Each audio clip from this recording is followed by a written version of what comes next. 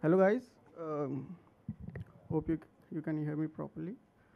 So um, I'm from Lakshya Digital.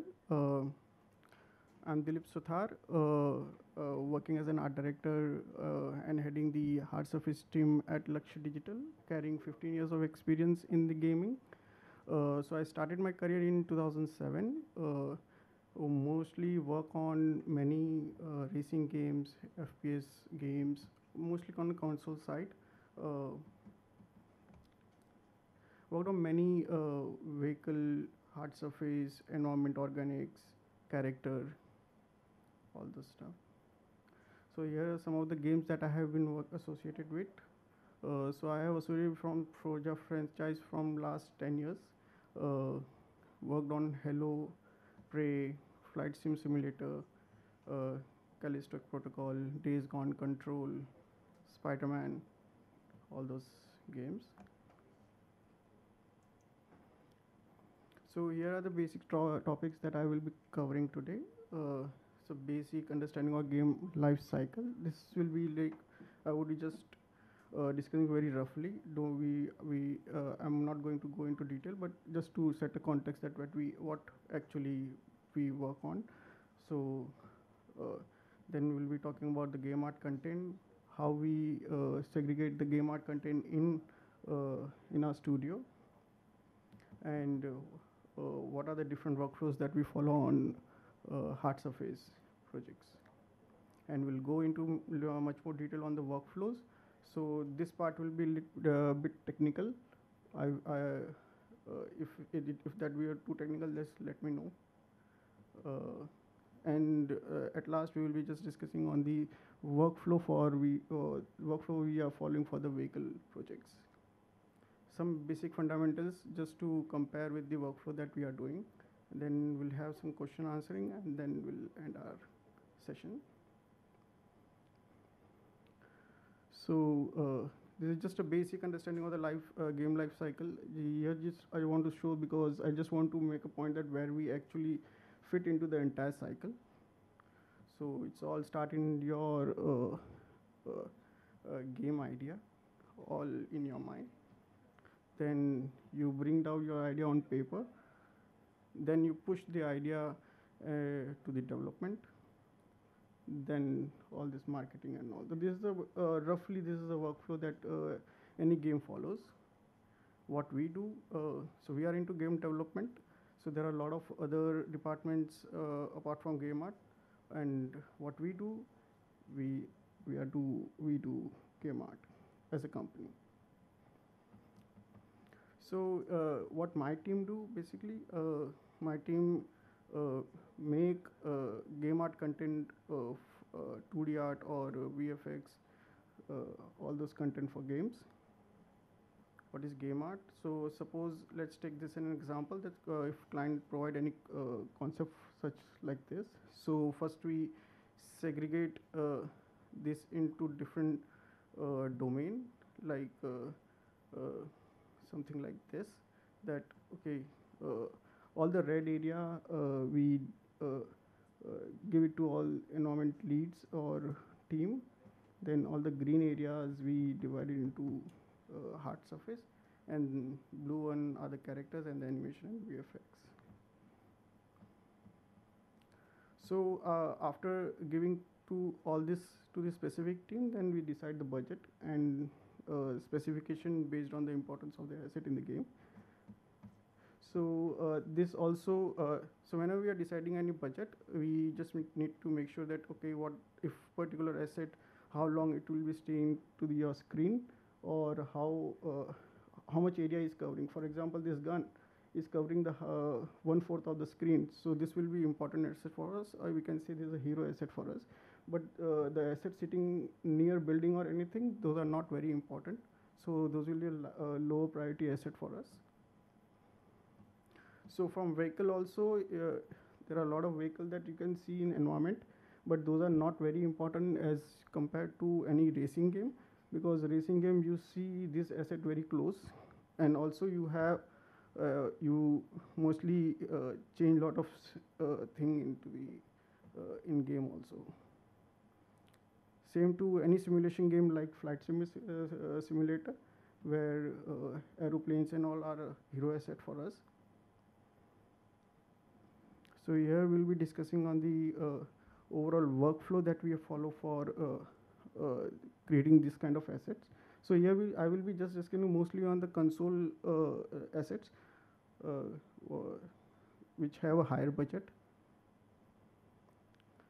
So the first standard workflow is uh, first is standard workflow. The other workflow is a weighted normal workflow, and the third is a mid poly workflow. So all these workflow are not very new. They are uh, using we are using this from uh, decades now, uh, but they they are we are using in a specific scenarios. So we will be just taking through all this uh, workflow, and we'll see that how this save our time and all. So in our standard uh, generic workflow, so basically you will be creating a high poly model, and you are you will be baking normal map uh, from your low poly model. So this is a standard workflow that we uh, everyone follows. Even if you go any art station and all, if you see any game art asset, you will see this uh, workflow everybody is using. So it's a very standard workflow. So this workflow is like you will be creating high poly models, something like this. Then low poly model, you will be using this. Then you will bake and texture.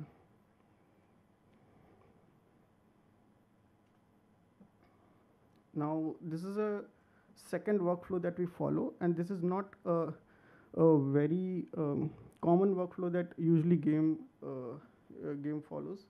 So there is very specific requirement for this. So in this workflow, we actually not creating any high poly model, but our low poly depict as a high poly model. So as you can see in the right side that, okay, it still is a low poly model, but it's uh, uh, giving a feel of this is a high poly model. So let's, uh, I would like to go into 3D software and just to make this point clear much more. One second. Can I switch on?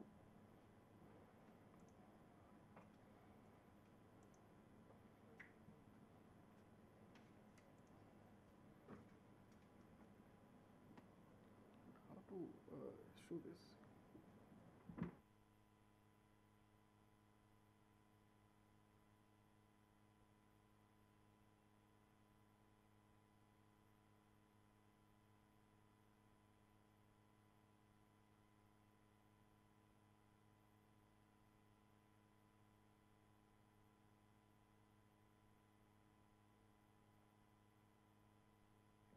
Yeah, sorry. So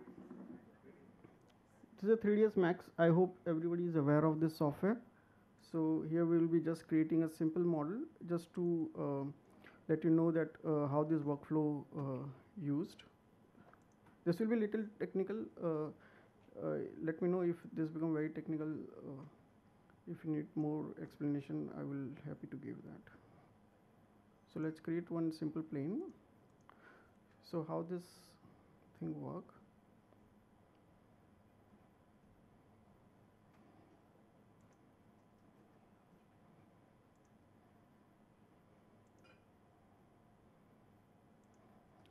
So when you apply edit normal, you will see there are uh, blue handles, right? All these four points. So those are normals. So in our first method, what we do, we actually bake all this blue from high poly to low poly, right? This is this is the standard rule, and what these uh, handles do is, if I, for example, if I see this thing from top, it will look flat. But if I move this handle to any any other uh, uh, uh, uh, section angle, so you can see the gradation coming, right?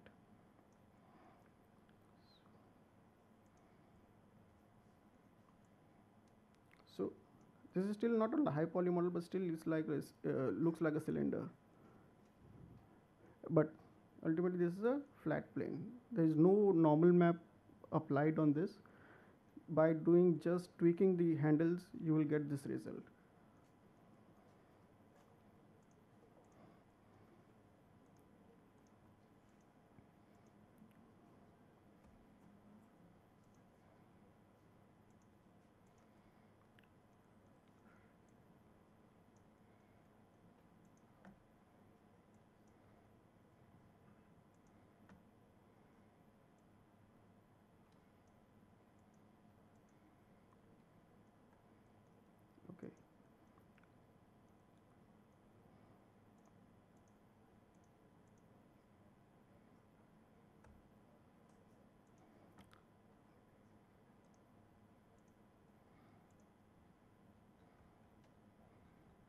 Less this.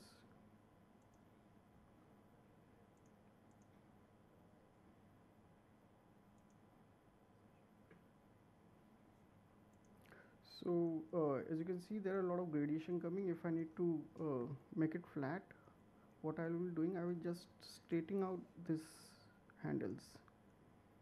This and this right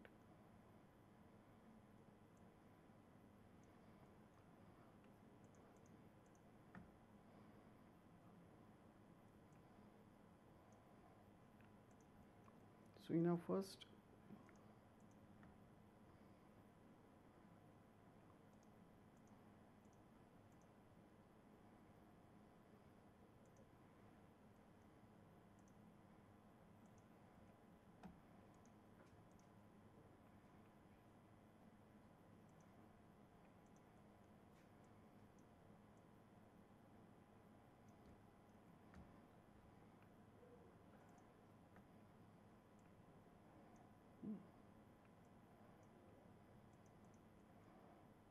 so here you can see that in the first model you have used a lot of polish to get this edge highlight right? But in the second model by adding by tweaking the just normal handles you can get the similar result. So in the first step of uh, first workflow you actually baking all the high poly normal into low poly model that uh, give you the result of high poly model. In the second one, uh, you are just tweaking the normal map. You actually don't really need to create any high poly model. So this workflow uh, uh, have its own pros and cons that we'll uh, see in the next stage.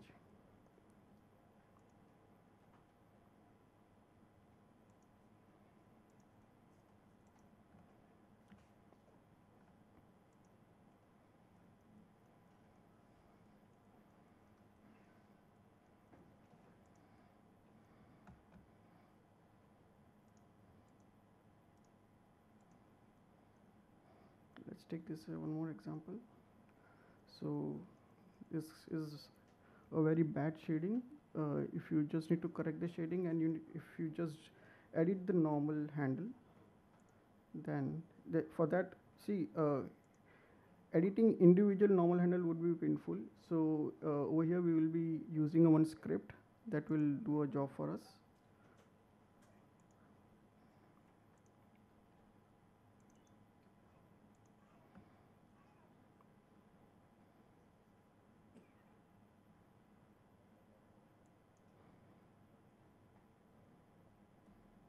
Hmm. Right. So as you can see, uh, all the shading errors went on. So before editing the normal and after editing the normal, this is the result that we get.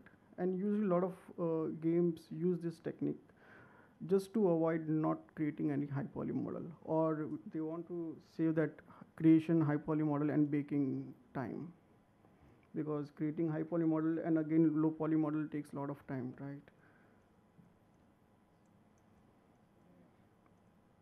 so this is one. And the third workflow.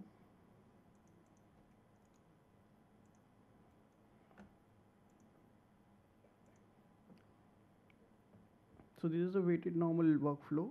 Uh, we'll come to that uh, what are the reasons that not every game follow this workflow? Uh, that we'll understand in the third third workflow comparing that uh, both side by side. So this example that we saw that you will be just editing the normal handle and you will be getting the high poly result. The third workflow is a very common workflow in all the games that uh, we are working on uh, at least on a racing game or simulation game follow this workflow. Um, it's called mid poly workflow.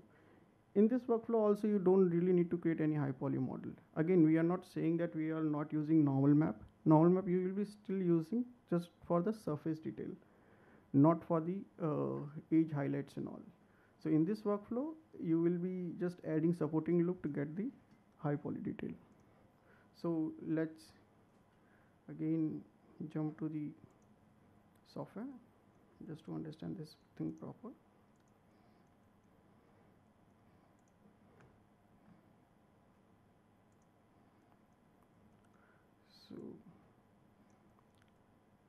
this is your first workflow where you're creating high poly and low poly model and baking your high poly model to low poly. This is your editing uh, normal handle. But when you editing any normal handle, you will see that color get change, right? Uh, this is a uh, average normal that softwares uh, automatically uh, give to you. But when you editing any normal, it will become a green. What that means is after this, you can't edit the model. So we need to make sure that if you following this workflow, that this model not get changed later on. So what that mean, let's try to understand into this particular thing.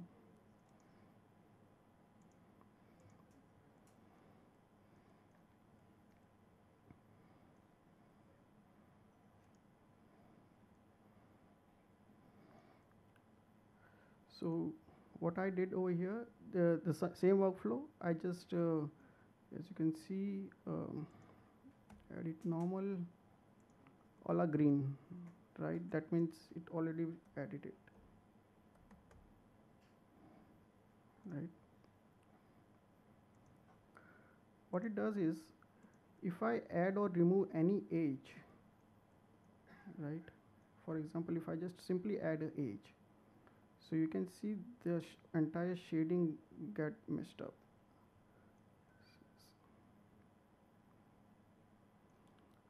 So this is a proper shading but if you editing edit any anything over here it will get changed.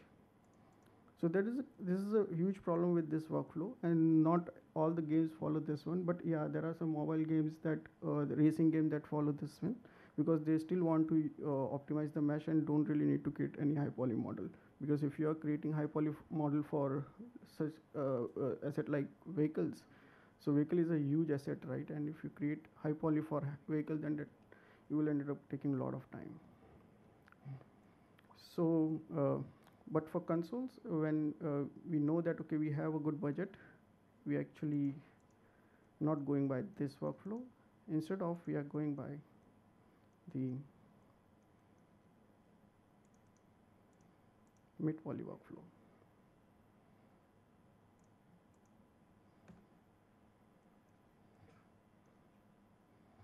So in the mid poly workflow, what we are doing, we are just editing supporting edges on the highlight area.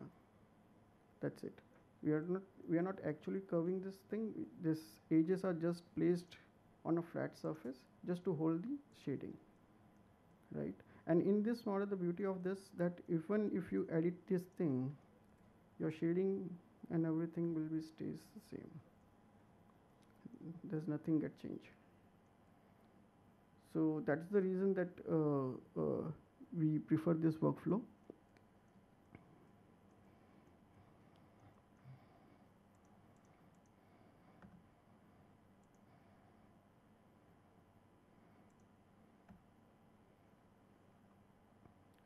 So let's take an example of uh, how this workflow we are using on the vehicles. So suppose uh, we are creating this bumper for this car. So the first step will be uh, blocking the scale and proportion for the entire car, but here we're just talking about the uh, bumper. So in this phase, uh, we are not blocking the shape, but we are blocking the scale, overall scale and proportion, right? Uh, by using limited poly scale and proportion would be very easy. After this, uh, we started blocking out the shapes. Now we start, see as you can see we added some lot of details, but still uh, you see uh, mesh is very low. After this stage, uh, then we start refining the model even more, curving out the detail. After this, we add supporting edges for the highlight edges, edge highlights. And and this is the this is the this is the model that directly go into the game without any normal map.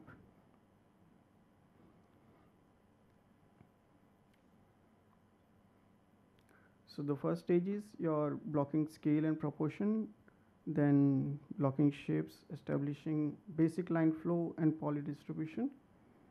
because poly distribution uh, is very important because here you don't have any normal map that uh, uh, that reflect uh, that you uh, for smoother surface that you have a normal but for smoother surface you have to have a good poly distribution to get a good reflection.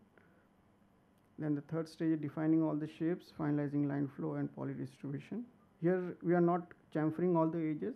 Uh, still, this will be the last at the end.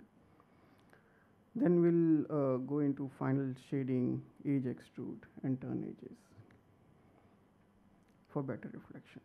So this is the workflow we follow for the uh, vehicles. Basic fundamentals. Uh, even though it's a 3D, but if you can compare to any 2D traditional process, is more or less same.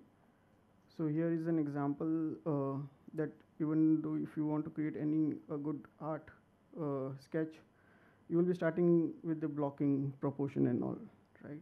Then you slowly blocking the shapes, defining shapes, then you jump on the shading. You actually not shading the first place. You finalize, finalizing the uh, shapes and then you start the shading. Here is one more example that uh, same blocking scale, proportions, shapes, defining shapes, and final shading. And more or less is the same workflow that we follow on 3D. Right.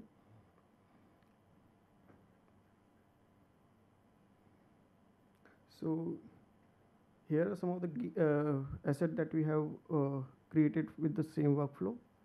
Uh, flight sim, planes, such kind of this.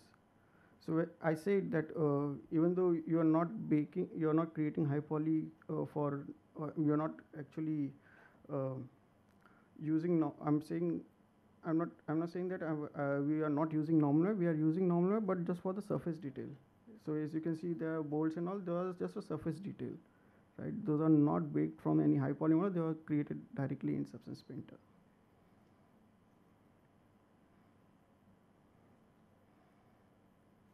So this is again a good example, entirely created through the uh, uh, mid poly approach.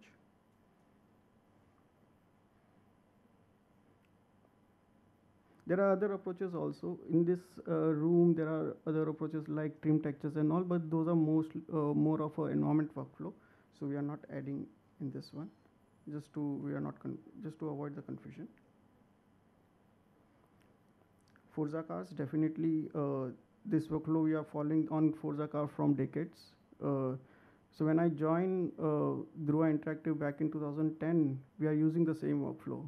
So over there, because um, racing those budget were very high for specific cars, but these days because our console are now more uh, powerful, we are using the same workflow on the other assets also.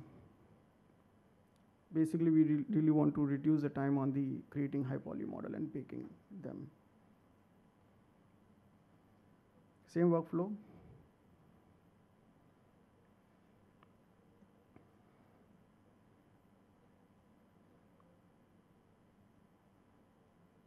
So all this uh, inner detail and all, those are uh, tileable textures that uh, have been created from Substance Designer. There are no high poly model created for this, entirely mid poly approach. So here I want to show you the wireframe. So as you can see, this is very dense, right? Because we have a really good budget for these cars. So line flow and poly distribution are essential for this because uh, all the reflections are coming directly from the uh, low res mesh. Even though this is not a low res mesh, but uh, this is a final mesh that with no normal map.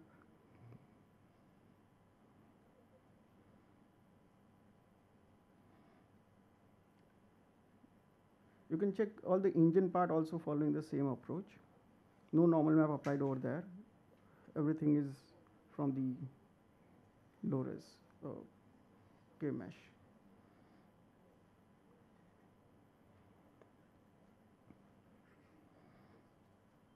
This is a combination of the approaches. Uh, there are some pieces, the, uh, the uh, major pieces are uh, through the mid poly approach, but the surface detail and the smaller detail still be done from our traditional uh, standard approach. This is an example of uh, standard generic workflow that that we usually see in any games. Standard workflow. So guns because we- have a lot of smaller details, right? So uh, doing those things in mid poly approach would be very expensive for the games. Uh, but definitely uh, there are some games that we are working today that following the mid poly approach because consoles become actually very powerful. So because really they they actually want to reduce the time because whenever you are creating any high poly model, you are actually crea- uh, putting a lot of time because first you are creating high poly, then again you are creating the same model for low res for in-game mesh. So we just need to cut down the time that okay, what if we don't don't create a high poly model? So this mid poly approach now started getting into way, uh, weapons also.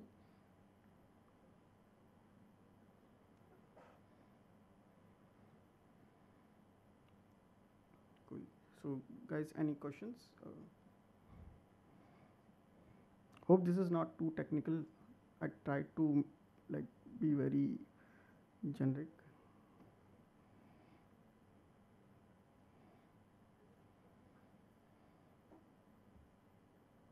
Yeah, yeah, sure.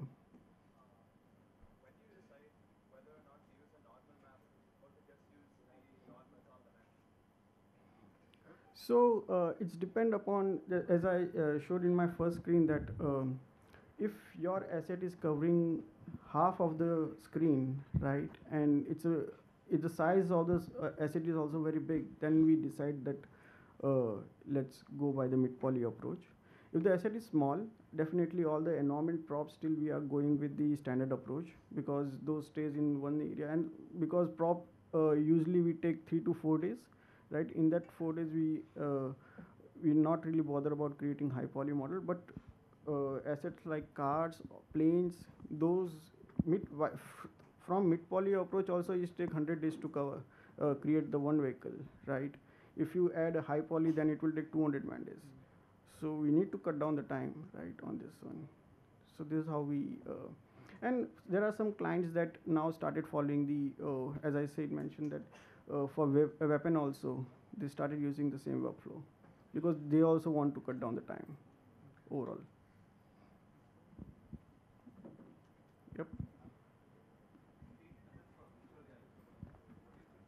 virtual reality mid poly approach uh, there are some uh, for example we are working for uh, uh, population 1 for uh, quest uh, quest 2 so uh, over there we are using the same workflow mid poly.